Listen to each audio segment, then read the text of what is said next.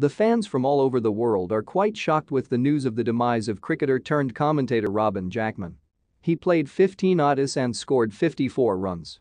The cause of his death is not known as yet. Jackman made his ODI debut against India in 1974 and then featured in the match against New Zealand in 1983. The fans from all over the world are quite shocked with the news of the demise of cricketer turned commentator Robin Jackman. He played 15 oddies and scored 54 runs. The cause of his death is not known as yet.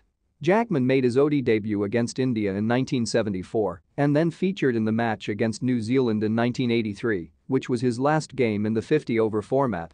The former England cricketer made his test debut in March 1981 against West Indies and played his last game against Pakistan in the following year. Robin Jackman no more.